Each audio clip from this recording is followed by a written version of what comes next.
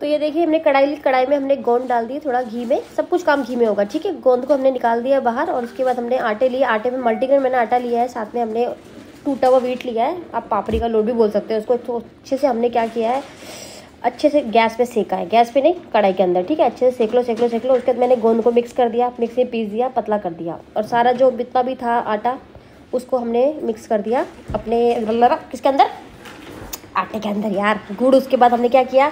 गुड़ को हमने घी में गलाया गलाया गलाया गलाया, उसका बना दिया पेस्ट और उसके बाद उसमें सारे आटे हम मिक्स कर रहे मिक्स कर रहे मिक्स करें गाइस इसको मिक्स करते करते हाथों में बहुत दर्द हो गया तो हमने क्या किया? मिक्सी में इसको पीसा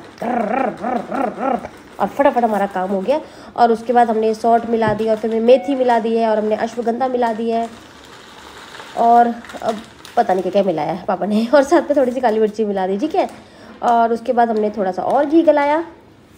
और फिर और घी को मिला के फिर इसको और हमने इसकी रगड़ा पेटी बनाई और फिर थोड़ा सा घी और बादें और मिलाया था। यस और उसके बाद देखो फाइनली हम लड्डू रेडी कर रहे हैं। देखो, ये देखो, कुछ खास ऐसे, कुछ ऐसे थोड़ा माप तोल लेना मतलब बराबर बराबर करके। पापा ने बनाया तो मैंने कहा, चलो रेसिपी दे दूँ, अपने हिसाब से बना लेना।